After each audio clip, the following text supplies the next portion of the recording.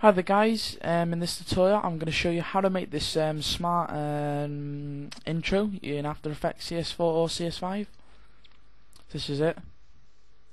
So have this little light going over the top with the um, flourish effect at the end. So you can go to the download link below this um, video and download that flourish. And you want to open up um, After Effects and go to File, Import, File. And you want to import that file. So mine's on my... Yeah, it should be on my desktop. Um, you have to extract it and it'll look like and you'll just open it up. You want to use that at the start, but first off I'm just going to go get the text tool and I'm just going to write what I want to write. So I'm writing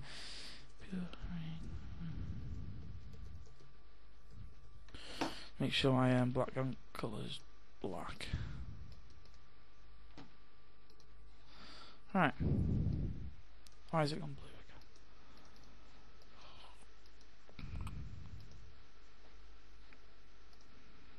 Right. So font I'm using is Champagne and Limousines, so you can download that as well. I'll be in the link below this um, video, in the description below the video. So um, first off, I'm just going to go to Effect. Sorry, make sure that your text is you clicked on your text Effect, um, Stylize, and then Glow. and I'm just going to leave it as that. I just want a little bit of a glow. You can change the colours if you want. Um, and then we need to get to the important part of having this transform in. So if we come down here to this little um, tab at the bottom, um, just click it, go to text, and then once the text is open up, on this animate thing here, click the little arrow, and then choose scale. Then when this pops up, it'll show animator 1, and there'll be an add. I'm just going to choose add, property, and I'm going to choose opacity. And same again for add, property, and blur.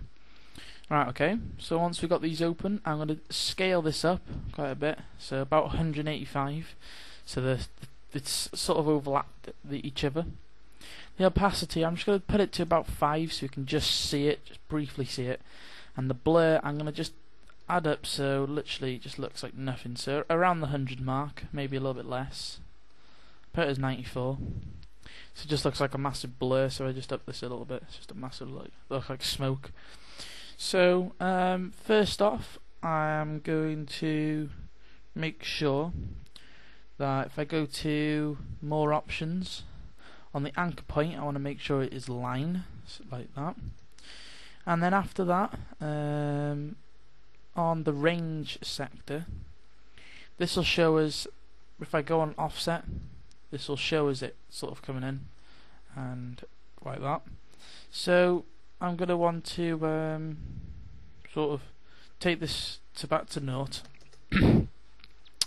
um, click on the offset button, make sure it's at naught, and then um sorry at hundred, and then I'm going to take it to one second, and I'm going to take this all the way back to negative 100. So now if I play this, as you can see, it just sort of flies backwards, and then it'll come back in again. Alright, okay. So now I'm going to choose the advanced tab and where it says shape I'm going to choose this to ramp ramp down.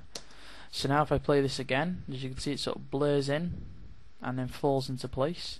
But um, just to make it a little bit smart I'm just going to choose the ease low. I'm just going to put this at um, I'll choose around around 70 80 mark. So now it just sort of just slowly nicely comes in. Do a second Right, so that's pretty nice. So that's that done. That was pretty quick. Nothing really need to briefly, but you know, pause it if I've gone a bit too quick. So now we've got that. So now we want that flare to come behind the text. So I'm going to go to layer. Actually, I'm going to choose a background first. I should have done that first, but I'm just going to go to layer, new, solid, and I'm going to make this uh, a really a nice dark blue and choose OK. I, I was going to do it green, but I just chose now I'll do it in blue. And I'm just going to get this at the top here and choose elliptical tool, and I'm just going to drag out a selection path. Then on the mask, it'll pop up, and I'm going to take this down and just feather it out, mask feather, take it out, so it just comes this nice colour. And I'm going to drag it below of the text. So now we have this nice sort of blue. I'm just going to lock the layer. so now we want this flare, so I'm going to go make sure I clicked on the top one, layer, new, solid, make this a black, um, choose OK. Now I'm going to go to effect, um, generate, and then, where is it? Lens flare. Alright, so it'll pop up with this lens flare.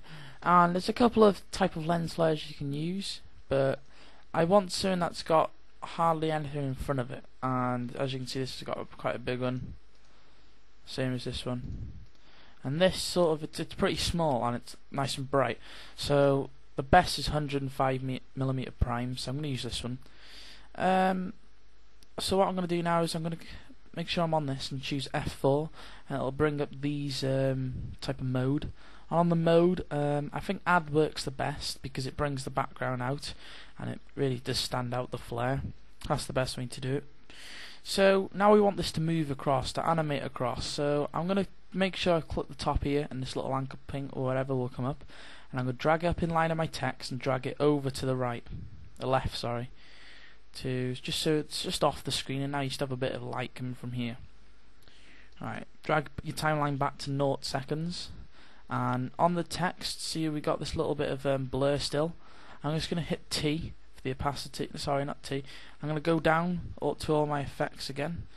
Um, so the animator 1 and then you know with the blur um, opacity we left it on. I'm going to take that down to 0 now. Just so we don't have it there. And I'm just going to go back. Um, sorry, I am rushing this. I'm trying to fit it under the 10 minute, but uh, mark that YouTube allows. So I've chose this as add, and now we want to get the flare center at the top here and hit the keyframe. And at one second, we want to drag this point by holding Shift, so it keeps it straight all the way to the other side. Right. So now if we play that, as we can see, the text comes in and this meets it right in dead in the middle and off it goes so this again and it comes off it goes and it comes off it goes um, so oh sorry make sure it's on add I did actually find this original thing at um, where is it um, videocopilot.net. So I ask you to go check that him out. Andrew Kramer, really good. Um, but I just wanted to try to do something with this, make it a lot easier and not um, make it that complicated. And I want to add, add our own stuff, own stuff of mine. So I'm not going to take all the, um, you know, whatever um, from this intro because it wasn't all made by me. But now we're going to add that flare, that um, sorry, flourish. So we've got all this done, and I'm just going to drag the flourish on, like so and then then I'm going to um, zoom out a little bit click on it just drag it down and then zoom in and if you just um, I'm going to make sure that um, where the black solid starts so at one second just in front of one second I'm going to put it and then you can see here comes the thing so I'm just going to drag it alongside of where I want it to come in and mine's going to be just off the S so it's going to come in from the bottom of the S like so and I'm just going to drag this. Oh, yeah. I'm just going to um, lock the flourish. I'm just going to drag it out a little bit, and then get it into place.